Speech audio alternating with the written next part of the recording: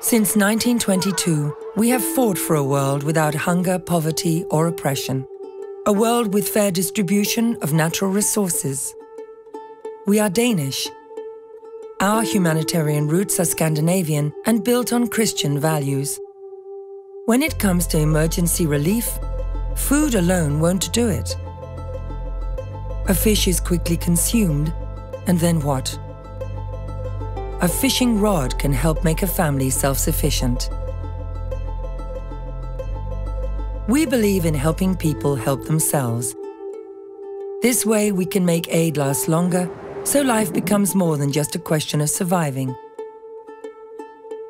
We call it persistent help. We respond to disasters worldwide and help people exposed to floods, long-term droughts, war and conflict. We provide food, cash, expertise and logistics so that more people will survive.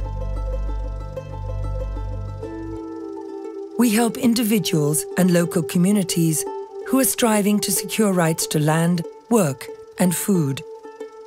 We try to lessen the damage caused by natural or man-made catastrophes by enabling people to be stronger and better prepared should disaster strike again.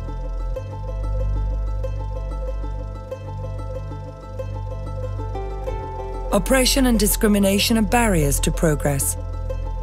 This is why we support civil society in its struggle to change the structures and politics behind extreme inequality. We help people in need, regardless of religion, gender, political views, or race. So, speaking again of fish, we don't just help by giving away fishing tackle. We also help to provide fishing licenses, because without the right to fish, a fishing rod isn't much use.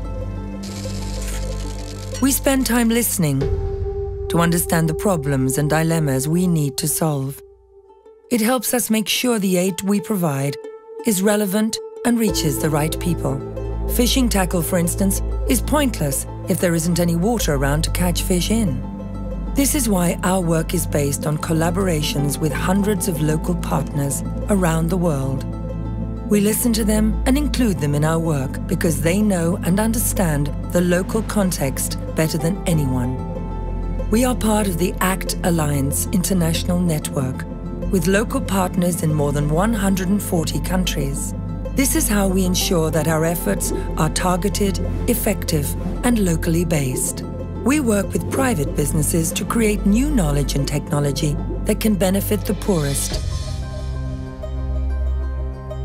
Just like a fishing line needs to be strong so it doesn't snap when the fish takes the bait, development aid requires a solid organization. An organization that is professional and responsible, and one that can ensure that help reaches its destination. DCA is HAP certified. We are supported by the Danish government and a large number of global donors, and we enjoy great support from the people of Denmark. Everything we do is about fighting hunger, oppression, and discrimination.